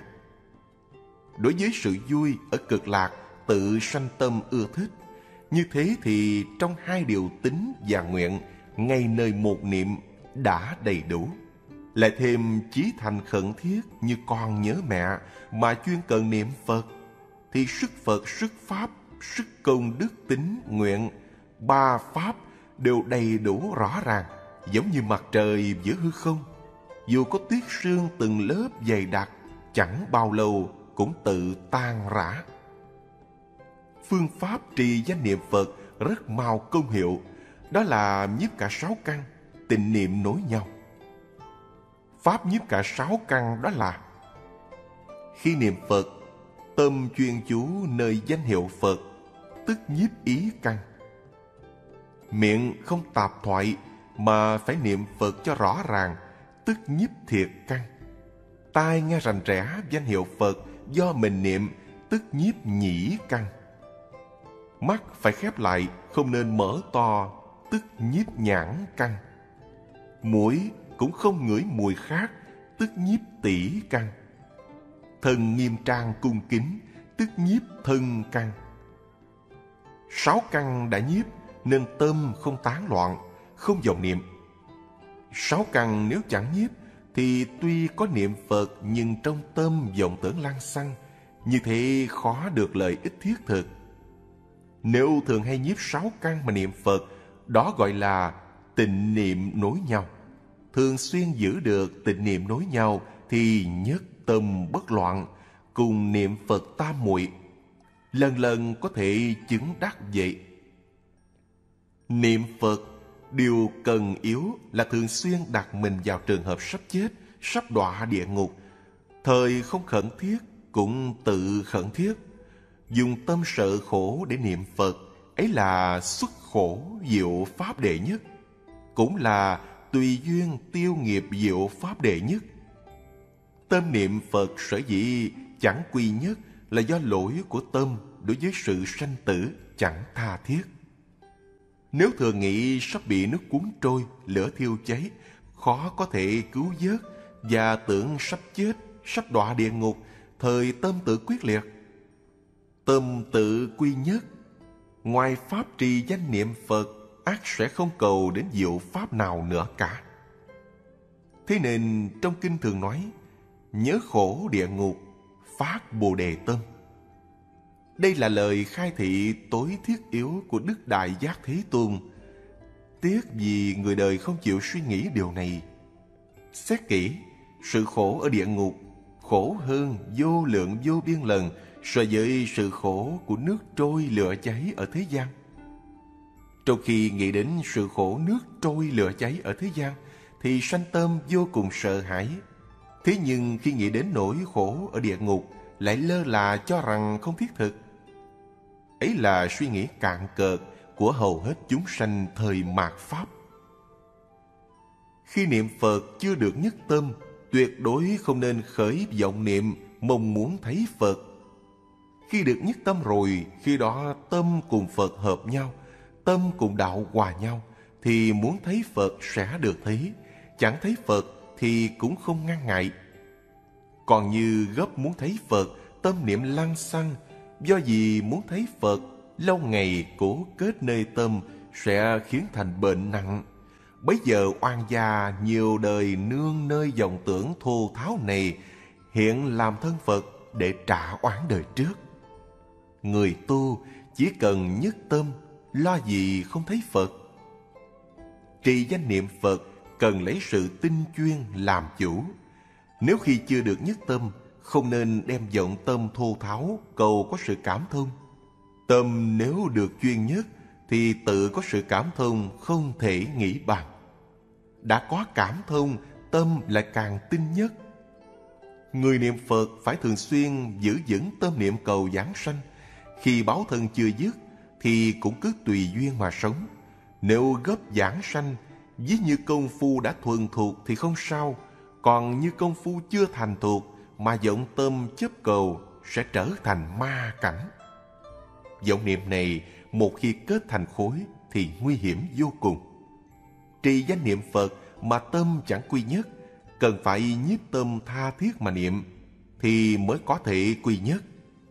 Pháp nhiếp tâm không gì hơn là chí thành khẩn thiết. Nếu tâm chẳng chí thành mà muốn nhiếp thì không thể được. Đã nhiếp tâm rồi mà chưa thuần nhất thì cần phải lắng tai mà nghe cho thật kỹ tiếng niệm Phật. Không luận là niệm ra tiếng hay niệm thầm, tất cả đều phải niệm niệm từ tâm khởi. Tiếng phát ra nơi miệng, rồi tiếng niệm lại vào tay. Tâm và miệng niệm được rành rẽ, tai nghe cũng rành ráo rõ ràng. Nhiếp tâm như vậy thì dòng niệm tự dứt. Niệm Phật thành khẩn cung kính Lời này thế gian ai cũng biết, nhưng lý này thế gian không ai rõ.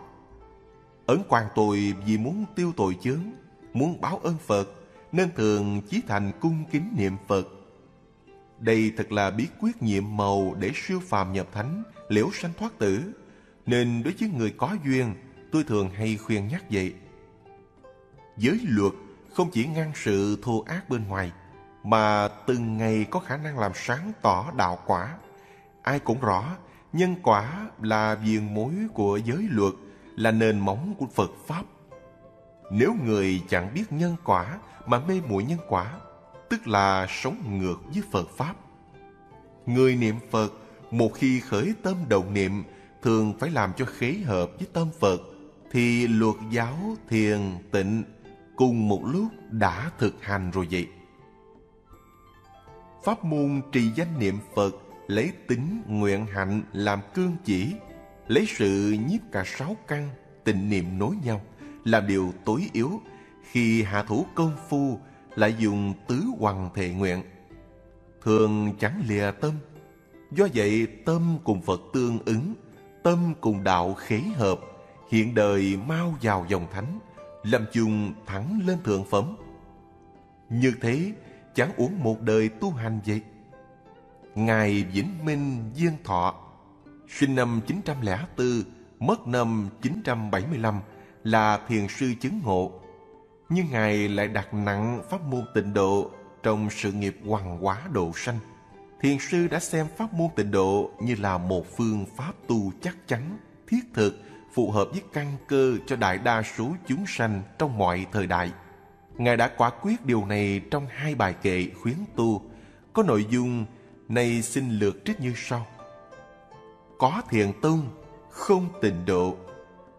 Mười người tu, chín người ngã. Ấm cảnh nếu hiện ra, chỉ chớp mắt là theo nó. Không thiền tông, có tịnh độ.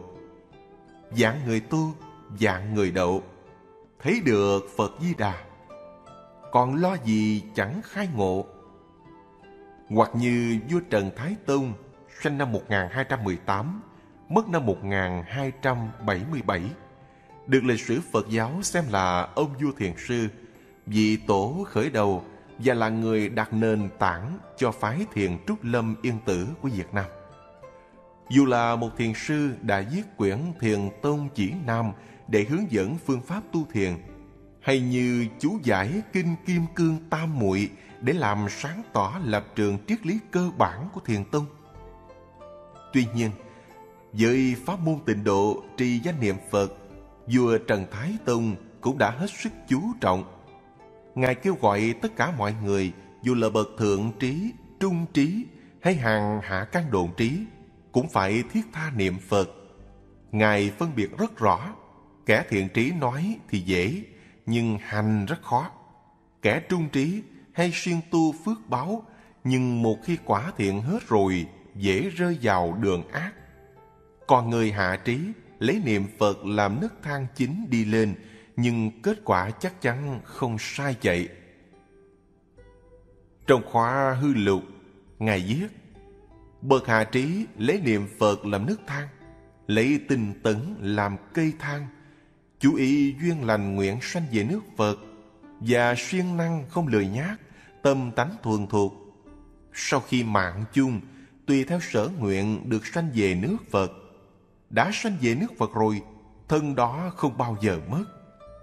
Qua những trích dẫn trên đây, chúng ta đủ thấy các bậc tổ sư tiền nhân cổ đức dầu thuộc hệ phái nào cũng đều khuyên tu niệm Phật, coi pháp môn tịnh độ là căn bản, lợi ích thiết thực cho chúng sanh trong cõi ta bà đau khổ này.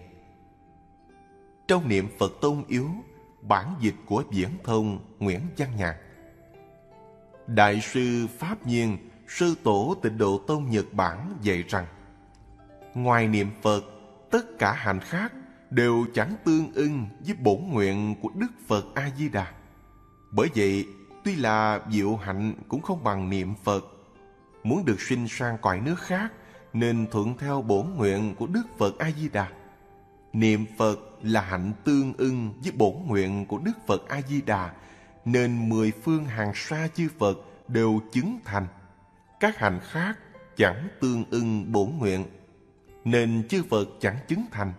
Bởi thế nên thường niệm Phật để mười phương chư Phật hộ niệm, hoặc như Kinh Quán Vô Lượng Thọ chép rằng Quang minh soi chiếu khắp mười phương thế giới, thâu nhiếp không rời các chúng sanh niệm Phật.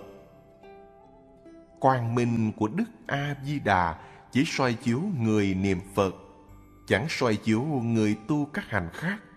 Bởi thế, người cầu sinh sang cõi cực lạc phải biết niệm Phật là trọng yếu. Có thể nói rằng trong niệm Phật tôn yếu, Đại sư Pháp Nhiên đã nêu ra một cách rõ ràng tôn chỉ cũng như mục đích ý nghĩa của pháp môn trì danh niệm Phật giúp người niệm Phật thuận lợi hơn, dễ dàng hơn trên bước đường trở về ngôi nhà cực lạc mà mình đã chọn. Bổn nguyện thâm trọng sau năm kiếp tư duy chép trong kinh Phật thuyết vô lượng thọ là chẳng kể thiện hay ác, chẳng quản trì giới hay phá giới, chẳng tính tại gia hay xuất gia, chẳng luận có trí hay không có trí.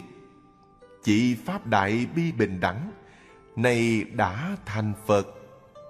Trụ vào cái tâm tha lực, tức nguyện lực của Đức A-di-đà, mà niệm Phật thì chỉ trong khoảnh khắc đã được dự vào sự nhiếp thọ của Đức Phật A-di-đà. Ngài đã khuyến tu niệm Phật với lời lẽ hết sức chân thật, gần gũi như sau. Ngoài việc xưng danh hiệu thì niệm Phật không có hình thức gì hết. Hay như niệm Phật hoàn toàn không có hình thức, chỉ cần biết rằng hễ xưng danh hiệu Đức Phật A-di-đà thì được sinh sang cõi cực lạc. Do đó nên chí tâm niệm Phật để cầu giảng sanh yếu đạo để hạng phàm phu thoát khỏi sinh tử, không gì hơn môn tịnh độ, hạnh niệm Phật. Nói về căn cơ thì bao gồm thập ác, ngũ nghịch, tứ trọng, bán pháp, xiển đề, phá giới, vân vân. Nói về hạnh thì mười tiếng hay một tiếng hay cả trẻ con cũng xưng được. Nói về tính thì một niệm hay mười niệm, kẻ ngu cũng làm được Bổn nguyện vốn gì mười phương chúng sanh, Mà có Không để sót bất cứ căn cơ nào, Không bỏ rơi bất kỳ ai. Trong mười phương chúng sinh Thì có trí hay vô trí, Có tội hay vô tội, Phàm phu hay thánh nhân, Trì giới hay phá giới, Người nam hay người nữ, Ông già hay trẻ con, Cho đến căn cơ của thời Tam Bảo đã diệt, Đều bao gồm cả hễ gặp được bổn nguyện được nghe danh hiệu Nam Mô A Di Đà Phật và tin theo mà niệm Phật thì Đức Phật A Di Đà dùng quang minh biến chiếu thu nhiếp chẳng rời. Hạng tội nặng nghiệp dày, u minh ám chướng lại càng nên nương vào A Di Đà Phật bổn nguyện. Vì sao vậy? Lý do là vì A Di Đà bổn nguyện vốn gì phàm phu chứ không phải vì thánh nhân. Đại sư Luyến Tây dạy, khi trị danh niệm Phật chỉ cần khiến âm thanh chẳng dứt, chẳng cần quá để ý đến nhất tâm bất loạn. Vì sao? Vì âm thanh chẳng dứt là nhân, nhất tâm bất loạn là quả. Nhân hạnh nếu chân thật, đạo quả ác duyên thành. Chỗ này gọi là hình ngay thời bóng thẳng, tiếng hòa thời âm gian Đáng tiếc người đời này chẳng chuyên cần niệm Phật mà ước mong nhất tâm bất loạn. Há chẳng phải như chim không cánh mà muốn bay, cây không rễ mà muốn xanh tốt. Ngẫu ích trí hút đại sư sống vào thời nhà Minh khi viết quyển A Di Đà kinh yếu giải đã phải lên tiếng than thở. Trong kinh dạy rằng đời mạt pháp ước dạng người tu hành, ít có một người đắc đạo. Chỉ còn nhờ pháp niệm phật mới được độ thoát. Qua lời tự thán và nhắc nhở của một bậc đại sư tình độ tông, chúng tôi nghĩ rằng này chính là thời mạt pháp. Nếu chúng ta bỏ pháp môn niệm phật này, không lo nhiếp niệm tu trì, thì còn chọn lấy pháp môn nào nữa để mà tu học? Diệu hiệp thiền sư khuyên nếu có thể vận dụng thân khẩu mà niệm, chỉ cần câu Phật hiệu không gián đoạn, tự có thể được nhất tâm. Chỉ cần thực hành không ngừng nghỉ, mà chẳng cần lo sợ tâm tán loạn. Ngẫu ích tri hút đại sư khai thị Nếu niệm địa ngục, thời là người của chúng địa ngục. Nếu niệm ngạ quỷ, tức thời đã là ngạ quỷ cho đến niệm Phật, thời là công dân của Phật quốc vậy. Lý này rất rõ ràng. Cho nên trong tông cảnh lục có câu, Một niệm tương ưng một niệm Phật, Niệm niệm tương ưng niệm niệm Phật Suốt cả ngày niệm ra tiếng hoặc niệm thầm liên tục không gián đoạn, Cần phải lấy nhất tâm bất loạn làm kỳ hạn Thực hành tâm hạnh đơn giản này cần phải tin chắc, chớ nghi ngờ. Giữ niệm luôn luôn, chớ đừng dừng nghỉ giữa đường, tự sẽ được giảng sanh cực lạc. Qua kinh nghiệm của nhiều bậc cao tăng và hành giả kiên trì tu theo pháp môn trì danh niệm phật, nếu tin sâu nguyện thiết, hạnh chuyên, thì cửu phẩm liên hoa chắc chắn là chỗ quay về trong mai hậu. Như vậy niệm phật quả là một pháp môn đơn giản nhưng rất đắc dụng hơn nữa, đó cũng là con đường thẳng tắc. Nếu chúng ta hành trì đúng pháp, chắc chắn thành tựu ngay trong một đời. Chỉ cần chúng ta buông xả dạng duyên, giữ vững chánh niệm, chuyên cần duy trì danh hiệu, không để gián đoạn câu Phật hiệu và trì danh cho đến nhất tâm bất loạn. Người tu theo Phật Pháp trong thời đại hiện nay, nhất là đối với hàng cư sĩ tại gia, thì niệm Phật được xem là con đường thẳng tắc và tất yếu để ra khỏi luân hồi sanh tử. Đây chính là pháp môn tha lực duy nhất trong Phật Pháp mà điểm then chốt là tin tưởng tuyệt đối vào bổn nguyện của Đức Phật A-di-đà. Như chúng ta đã biết, bổn nguyện của Đức Phật A-di-đà là dùng danh hiệu của Ngài để cứu độ hết thảy chúng sanh. Nếu người tu tịnh độ mà không hiểu lý này thường cho rằng chỉ danh niệm Phật là để dành cho hạng hạ căn kém cỏi, không đủ năng lực để hành trì các pháp môn khác.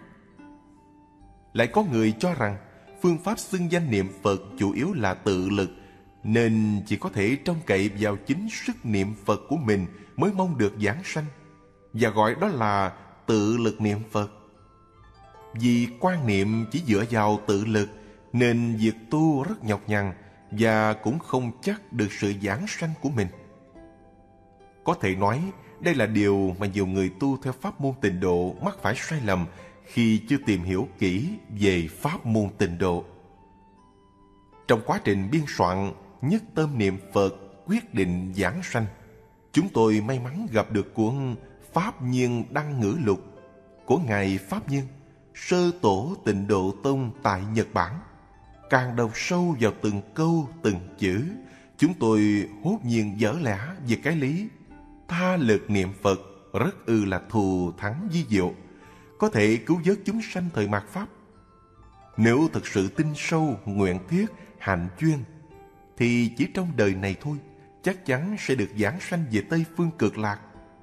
Chính vì lợi ích lớn của người niệm Phật, chúng tôi đã biên soạn lại bản dịch của cư sĩ Viễn Thông Nguyễn Văn Nhạc, hầu giúp quý Phật tử hữu duyên tăng trưởng niềm tin vào bổn nguyện của Đức Từ Phụ A-di-đà.